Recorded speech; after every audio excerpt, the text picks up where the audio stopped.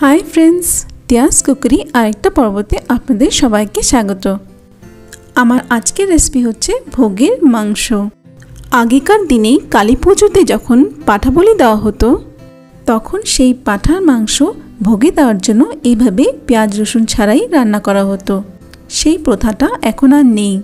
সেই ছোট্টবেলার স্মৃতিগুলো ধরে রাখার জন্য কালী পুজোর দিন অনেকেই এই মাংস, পেঁয়াজ, রসুন ছাড়া রান্না করে থাকে।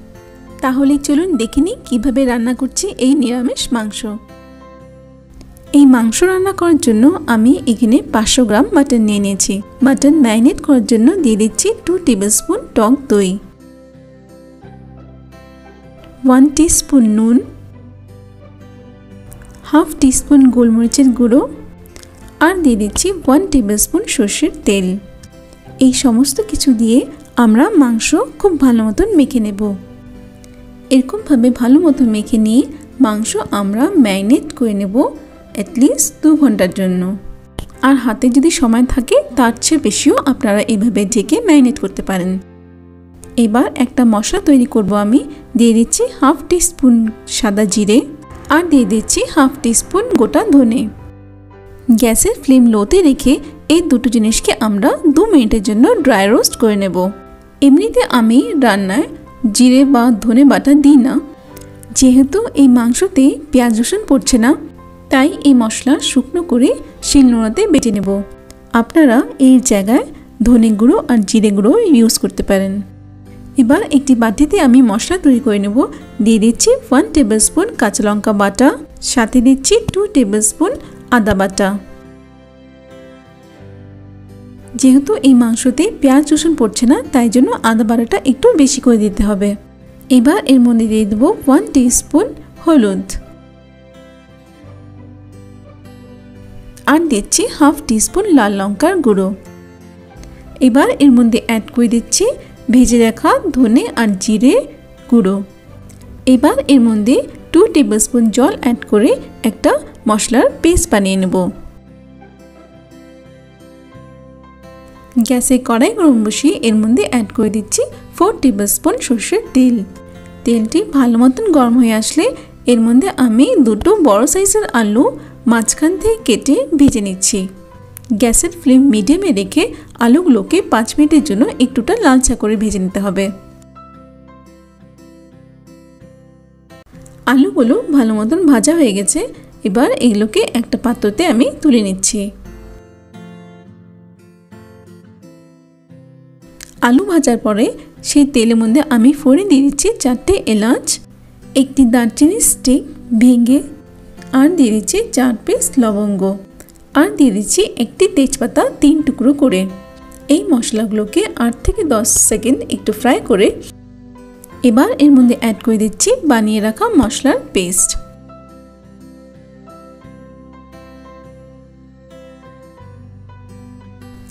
তেলে ছাড়ার পর মশলা ভালো মতন এভাবে মিক্স করে নিতে হবে।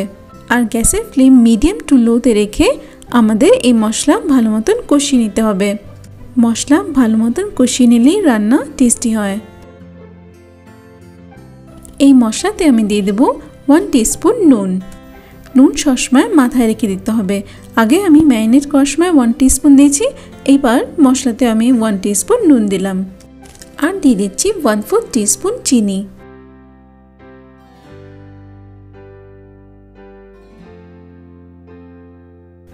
মশলা এরকমভাবে ভালো মতন কষিয়ে নিতে হবে, যতক্ষণ না মশলার থেকে তেল ছাড়ছে। এই মশলার মধ্যে আমি দিয়ে দিচ্ছি একটি মিডিয়াম সাইজের টমেটো গ্রেট করে। এই টমেটোটাকেও মশলার সাথে ভালো মতন কষিয়ে নিতে হবে।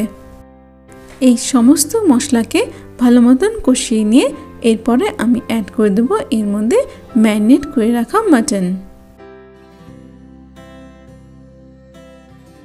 মশলা খুব ভালো মতন কষে গেছে।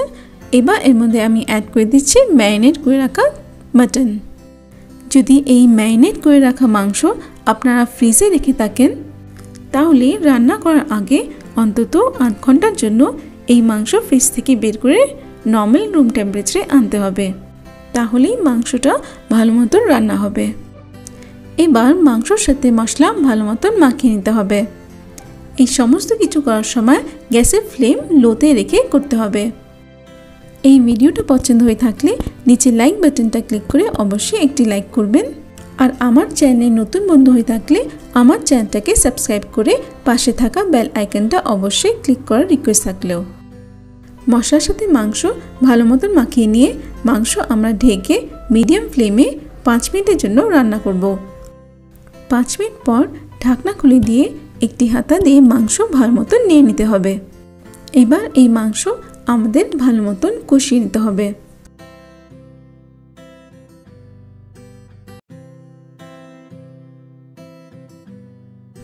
যখন অনেকটা জল শুকিয়ে যাবে, তখন এর মধ্যে আমি দিয়ে দিচ্ছি ভেজে রাখা আলুগুলো। মাংস আর আলু ভালো মতন এবার মশলার সাথে কষিয়ে নিতে হবে।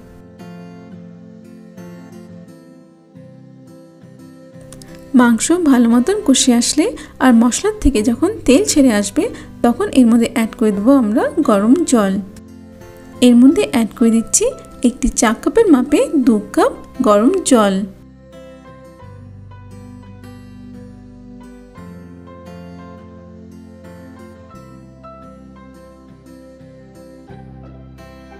জল দেওয়ার পর মশলা ও জল ভালো মতো মিক্স করে নিতে হবে। আর কড়াই সাইডে যে মশলাগুলো লেগে থাকে, সেগুলোকেও হাতা দিয়ে ভালো মতন জলের সাথে মিশিয়ে দিতে হবে। সব কিছু ভালো মতন মিক্স করার পর এই মাংস আমরা ঢেকে মিডিয়াম ফ্লেমে রান্না করব দশ মিনিটের জন্য।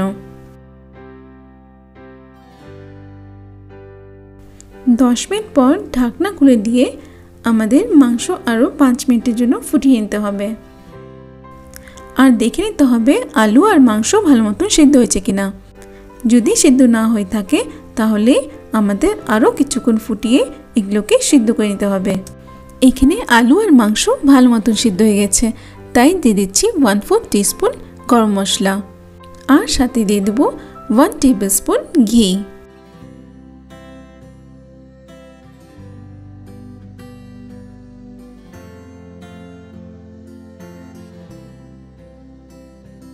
ঘি গরম মশলা দেওয়ার পর ভালো মতন মাংসটাকে নিয়ে নিতে হবে। আর গ্যাসের ফ্লেম বন্ধ করে দিলে হয়ে যাবে আমাদের ভোগের মাংস রেডি এই মাংস গরম ভাতের সাথে খেতে অপূর্ব লাগে। আপনাদের রেসিপিটা কেমন লাগল অবশ্যই আমাকে কমেন্ট করে জানাবেন। আর আবার নতুন রেসিপি পাওয়ার জন্য আমার চ্যানেলটাকে সাবস্ক্রাইব করবেন। তাহলে আবার দেখা হচ্ছে আপনাদের সাথে একটি নতুন রেসিপি নিয়ে। ভালো থাকবেন, ধন্যবাদ।